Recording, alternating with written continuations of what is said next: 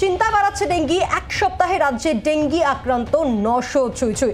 সব জেলাকে ডেঙ্গি প্রতিরোধের ব্যবস্থা নেওয়ার নির্দেশ, জেলাগুলিকে নির্দেশ স্বাস্থ্য সচিবের। মৈত্রী রয়েছে আমাদের সঙ্গে।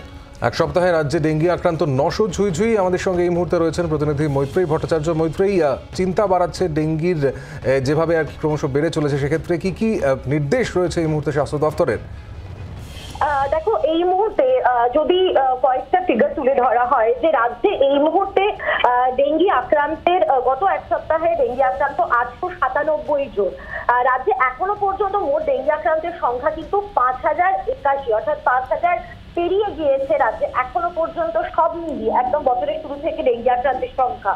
কিন্তু চিন্তার বিষয় হচ্ছে গঙ্গার দুপারে যেভাবে ডেঙ্গি আক্রান্ত সংখ্যা বাড়ছে সেটা। কীভাবে দেখা যাচ্ছে যে একদম স্বাস্থ্য দপ্তরের নজরে এসেছে গঙ্গার দুপারে অর্থাৎ হাওড়া এবং হুগলি জেলা। এই দুই জেলায় কিন্তু ভয়ঙ্কর ভাবে বাড়ছে আক্রান্তের শতাংশ।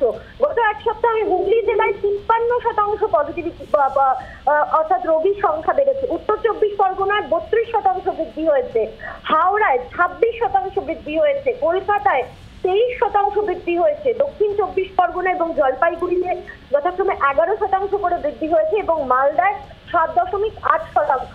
এবার চিন্তার জায়গাটা কোথায়? তার কারণ ডেঙ্গি ডেঙ্গির এবার প্রকোপ বেশি হবে এমনটা আশঙ্কা করেছিলেন।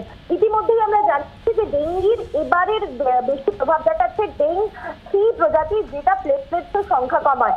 এবার যেটা কিছুদিন আগে পর্যন্ত দেখা যাচ্ছিল যে রুরাল বেঙ্গলে পজিটিভিটি রেট অর্থাৎ ডেঙ্গির প্রকোপ বেশি। কিন্তু এখন আস্তে আস্তে দেখা যাচ্ছে যে একবারে আউটব্রেক প্রবণ যে জেলাগুলো রয়েছে, অর্থাৎ হাওড়া, হুগলি, উত্তর চব্বিশ পরগনা, কলকাতা, এই জেলার বেশ কিছু পকেটে উত্তর চব্বিশ পরগনার দিকে যেমন পানিহাটি, কামার পানিহাটি, কামারহাটি পুরসভা খড়দহ পুরসভা, ব্যারাকপুর পুরসভা, দক্ষিণ দমদম পুরসভা, এই জায়গাগুলো ডেঙ্গি প্রবণ পুরসভা এবং এই জায়গাগুলো কিন্তু এবার রেড লাইটে চলে এসেছে এবং গতকাল এই এক সপ্তাহের স্টেটাস রিপোর্টের যে পর্যালোচনা হয়েছে স্বাস্থ্য দপ্তরে, তাতে কিন্তু রীতিমতো চিন্তা বেড়েছে স্বাস্থ্যকর্তাদের এবং স্বাস্থ্য সচিব নারায়ণ স্বরূপ নিগম, তিনি নিজের বৈঠকে পৌরোহিত্য করেন এবং নির্দিষ্ট করে বেশ কয়েকটি জেলাকে, বিশেষত হুগলি জেলাকে সত- সতর্ক করা হয় এবং বলা হয় যে অতি দ্রুত গোটা পরিস্থিতি নিয়ন্ত্রণে আনার ব্যবস্থা করতে হবে।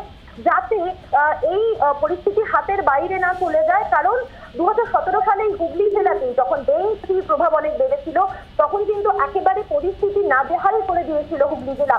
ফলে সেই জায়গা থেকে অনেক বেশি সচেতন করার জন্য স্বাস্থ্য সচিবের তরফ থেকে নির্দেশ দিয়েছে সব জেলার কাছে।